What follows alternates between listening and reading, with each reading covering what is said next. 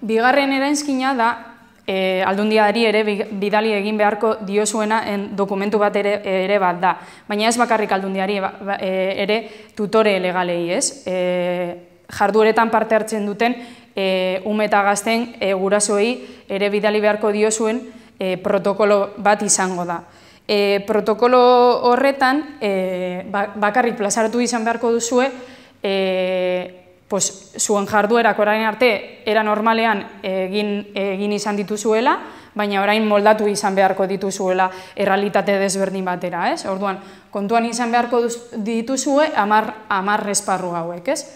E, e, lehenengo esparrua, e, transmisioaren kontrola eta prebentzioa nola bideratuko duzuen e, e, egun guztietan eta baita ere e, aktivitate guztietan, dino eta adibidez, e, eskulan bat e, prestatxearen nola nik begirale moduan, begirale gisa, e, zer nolako e, bal, e, baliabideak eta pre, pre, prebentzio neurriak e, bideratuko ditudan, e, umeta gazteek e, tailer edo eskulan hori e, egiteko, ez?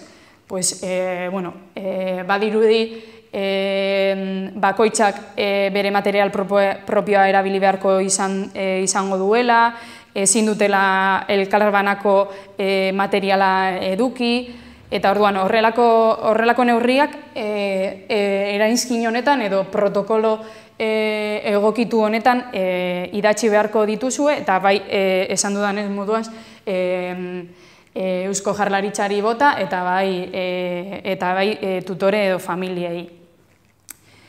E, honekin batean, naita ezko higien eta prebentzio neurri, neurriak ere bide, nola bideratuko dituzuen, ez bakarrik e, tailerretan edo eskulanetan, baizik eta mendira baldimazo azte edo, edo zuen, e, zuen herrialdeko plaza batera baldimazo azte, e, zein nolako neurriak eukiko dituzuen e, e, jarduerak ekiditzeko, ez?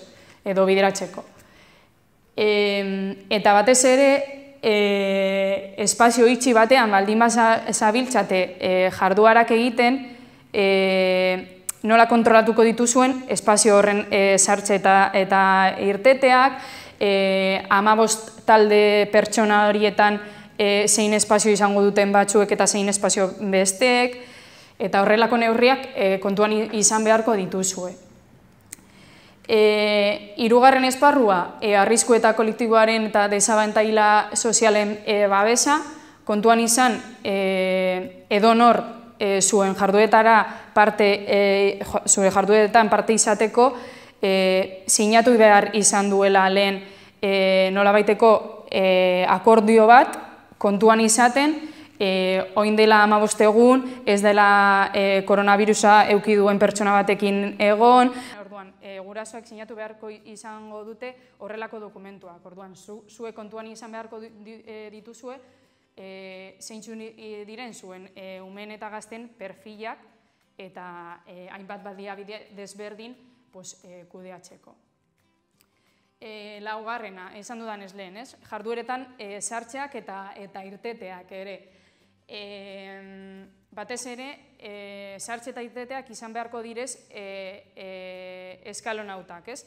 E, ezin izango direz ama bostumeak e, ordu berean e, zuen jarduetara sartu, ez? Pues agian e, kontuan izan beharko duzuela, e, nola baiteko e, kontrol bat eta e, bai gurasoekin kontrol hori eraman beharko duzuela, e, umeek nola baiteko e, modu eskalonatu batean e, sartzeko eta pertsona askok pues, e, e, momentu konkretu batean eta leku konkretu batean ez elkartzeko.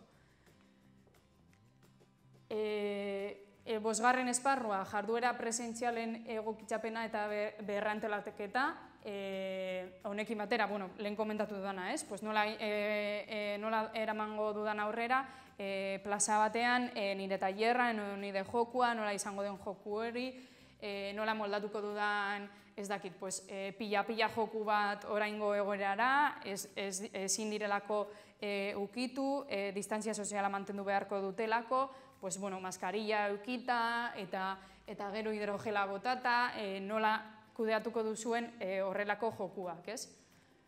E, zeigarren esparroa, e, esparroa. begiraleak e, azpitaldeen arduran duen gisa, hau oso garrantzitsua da. E, esan dudan ez lehen, e, begirale batek beti izan beharko da erreferente e, ume edo gazte talde bererako.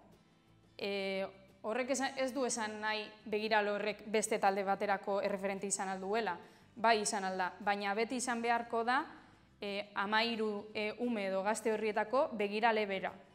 E, batez ere, e, umeek eta gazteen kontuan izateko, baina e, baita ere gurasoek. E, bai, esarrera eta, eta irtetetan, eta bai zerbait gertatzen baldin bada, e, norrekin, norekin kudeatu beharko e, duten jakiteko. E, zazpigarrena, e, parte hartzaileen joana eta torria, ez? E, entrega eta eta bilketa. E, honek zerukizia du ere laugarren esparruarekin. E, eta sortxigarren esparrua ere e, bueno, jarduara garatzeko baldintzak, eh? Pos, e, horrekin batera, ez? Nola moldatuko ditugu gure aktivitateak e, egoera e, desberdin honetara e, horretarako segurtasunezko oinarriak e, eta ekipamenduak zeintzuk izango e, direzen, kontuan izan e, ume guztiek zuen jarduretara hurbildu beharko direzela e, maskariekin, eta ezin e, badirez hurbildu maskariekin edo maskarekin ez dituztelako, e, zuek e, entitate moduan e, eman beharko dizkizuela, dituzuela.